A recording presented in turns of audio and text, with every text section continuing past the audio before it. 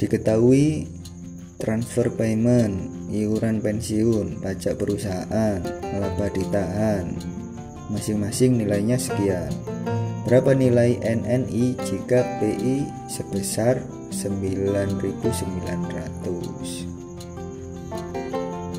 Nah, kita pakai rumus yang ini. PI sama dengan NNI plus TP min buka kurung iuran pensiun plus pajak perusahaan.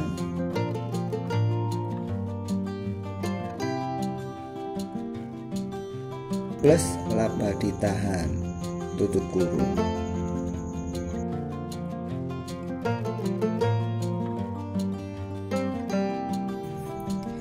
kita masukkan angkanya BI 9900 NNI tetap karena yang dicari transfer paymentnya 1200 nah ini iuran pensiun 300 pajak perusahaan 600 laba ditahan 100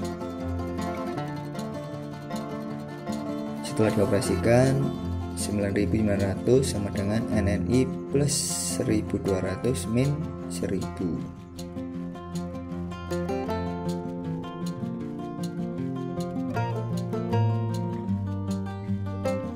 jadinya 9900 sama dengan NNI plus 200 yang 200 dipindah ke kiri jadinya 9900 dikurangi 200 sama dengan NNI berarti NNI sama dengan 9700 gampang kan ngitungnya